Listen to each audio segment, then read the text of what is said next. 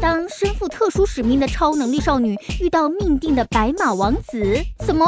你以为我在讲美少女战士？No No No！最新台剧《通灵少女》，不平凡女孩的平凡爱情，快一起来看哈！十六岁的花季少女小珍有一个不为人知的特殊身份，在一所寺庙做仙姑，因为她是天生阴阳眼的通灵奇才，她的日常工作就是驱逐恶鬼。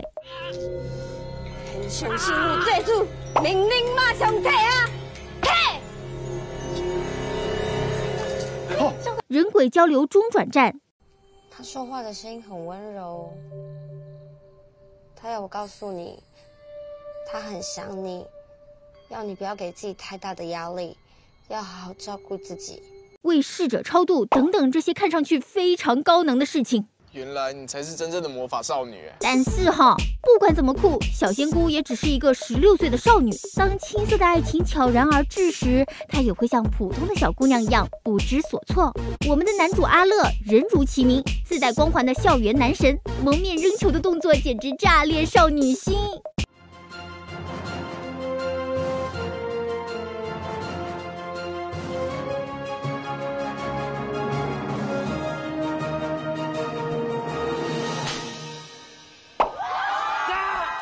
男神总是有意无意触发撩妹技能，比如在小珍上学迟到的时候搭把手爬墙啦，在被小珍吐了一身之后豁达的样子啦。今天上学就这么精彩。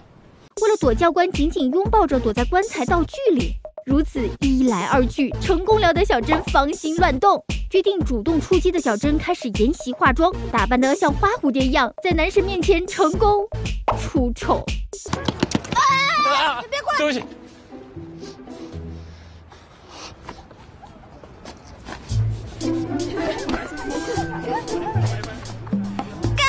快穿呐！哦。然后为了击败竞争对手，小珍要去争取校园话剧朱丽叶的角色。由于先不过对手，美不过对手，小珍只能兵出险招。Oh yeah, Romeo, I love you.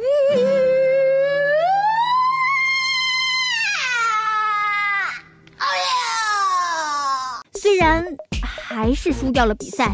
但总算赢得了男神的点赞。我很喜欢这样的朱丽叶，赞哦！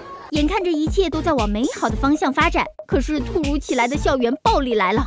同学们知道了小珍的身份，开始排挤她、伤害她。小珍更是被带上了神秘人的小车。所以说，乐珍 CP 前途堪忧啊！欲知后事如何，快一起来追剧，分分钟追剧，下期见。